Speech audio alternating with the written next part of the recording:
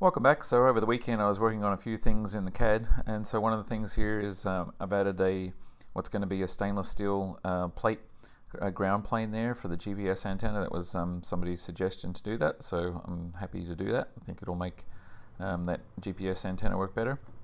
And then uh, next thing I did was you see I've gone and put the CAD models in for the pressurization um, outflow valves here and um, we were lucky enough from Enviro to actually get the CAD model so I could um, put them in here and, and uh, took me a little while to figure out the best way to orient them because you know you can rotate them sort of steps of 60 degrees there because um, we already had the holes drilled for them in the back there. Anyway so I've got all the different uh, uh, tubes there running so there's a 5 16ths of an inch um, sort of polyflow tubing between them so I got all that done.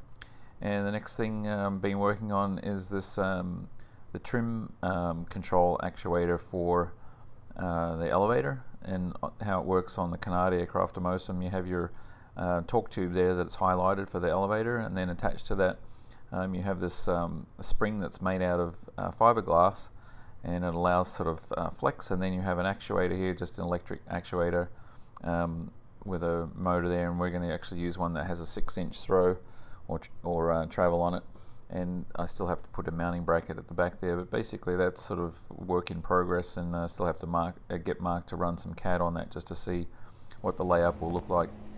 Anyway moving on. So uh, starting out the week uh, started cutting um, the tubes here for the side sticks because uh, it's starting to you know put together the different pieces that make up um, some more of the flight controls. Obviously Jeff's done quite a lot already with the flight controls with respect to the pulleys and all that all the brackets and stuff that hold those um, but uh, it was time to start working on the next step. So these side sticks basically uh, just sort of a long stick there at a 4130 and uh, just with the angle sort of cut at the bottom there and then ultimately turns 90 degrees and there's two of them obviously.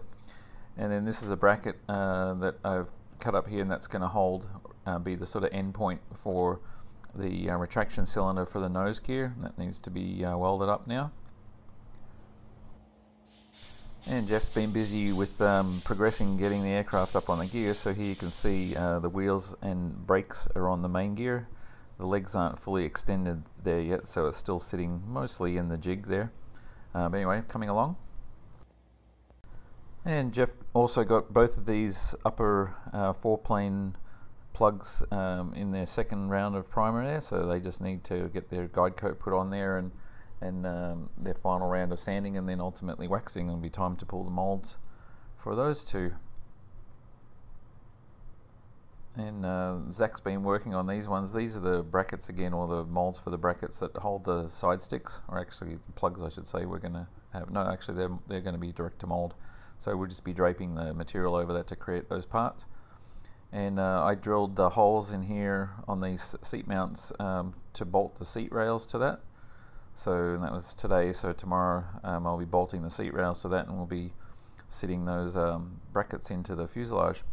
And see Jeff's adding on this little extension bit there to that mounting bracket there that holds the end of the gas strut, which um, is job to push the gear down um, and make sure it locks into place. And I went over to Britt's this afternoon again um, to get him to weld up these different bits and pieces. So here you can see he's welding up uh, the side sticks and you see we he's doing the finish welding already there on those. Uh, so he's already mostly done one and he's working on the other one there.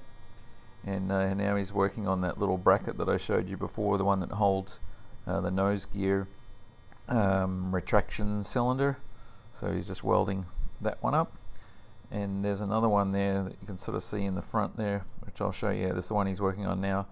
So this is another cross bracket that goes um, in between the um, braces that hold the nose gear um, retraction bracket arms and you'll see it in a little bit. I'll show you what it does but basically it's the other end that holds the gas strut and it also um, beefs up those braces which you'll see in a little bit.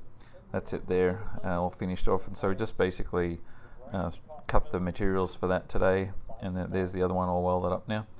Um, and you know ultimately those will go to powder coat and so they look nice and uh, when I got back to the shop after that, guys finished um, laying up this. I think Devon was working on this one, or Devon or Zach, I'm not sure. Um, created the mold for this, and that's that add-on for the firewall. And you see Zach's getting pretty close now. These are already in the second coat of primer, I believe. um, getting pretty close to having those ready to wax up um, so we can create those side stick brackets. And here's the side stick there, and it's not fully inserted into the end there, but that's basically how it looks. And then there, the wires come out the end there for all the different buttons that are on there that control that. So uh, that's kind of how it's going to sit. Like I said, it's still got to go in a little bit further in there. It's just a little bit tight. I've got to just uh, clean out the end of that uh, tube. So Jeff's pretty much got most of the main gear stuff sorted out with respect to the retraction. So now he's working on the nose gear. And so there's that bracket that um, Britt just welded up. And so see it goes between uh, these two carbon fiber bra um, braces there and sort of supports those, but at the same time is used for the gas strut uh, that pushes the nose gear down. So as you can see here, everything's sort of coming together and that's how the retraction works there.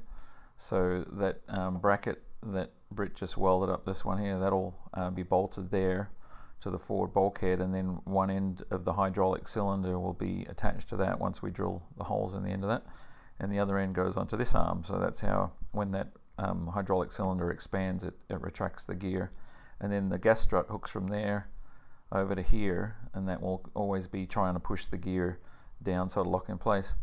Anyway, so as you can see, um, the main gear is locked in place now and uh, she's standing uh, pretty tall now. so wait till you see in a second here and I'll show you. Um, everybody had already left the shop because um, it was, you know, after 6 o'clock when I got there, or right on 6 when I got back from Britt's. And uh, as you can see, panels in there. Now. It was sort of in there the other day a little bit, but I've got it positioned better. And this is just to give you some sort of reference of the height here. So it's the, the top of that is actually above my head by several inches. Um, and so you can see where the door sill is there.